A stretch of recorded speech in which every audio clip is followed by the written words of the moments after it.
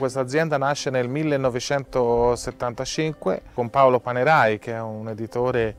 eh, di finanza molto importante sia in Italia ma anche in Europa e anche in America e adesso anche in Asia. Questa azienda che è nata con la fusione di quattro differenti piccole aziende originarie, una delle quali aveva il nome appunto Castellare e per questo questa azienda oggi si chiama Castellare di Castellina.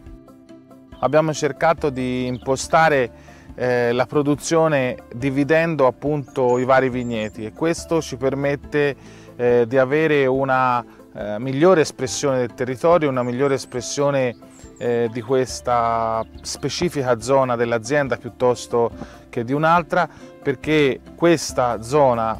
risente in maniera molto molto profonda delle variazioni eh, pedoclimatiche anche in zone abbastanza vicine.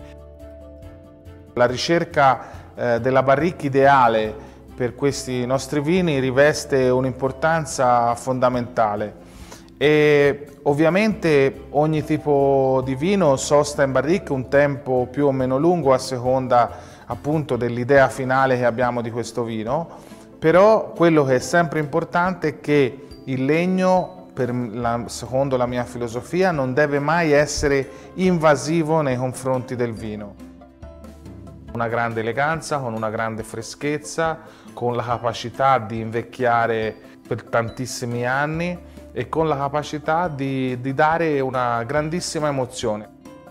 grandissima espressione a livello aromatico con una, una variante di, di, profumi che va dalla viola al rosmarino a un, una leggerissima eh, speziatura, un leggerissimo filo di menta. Queste sono proprio tutte piante che troviamo camminando in questo territorio, in queste zone laddove appunto si riesce, grazie al terreno, grazie al microclima, a rendergli l'ambiente più, più adatto per esprimersi appunto e per dare la migliore qualità possibile.